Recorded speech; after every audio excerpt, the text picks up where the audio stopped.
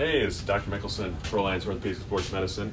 As a former basketball athlete, I'm well aware of all the injuries that can happen in the sport.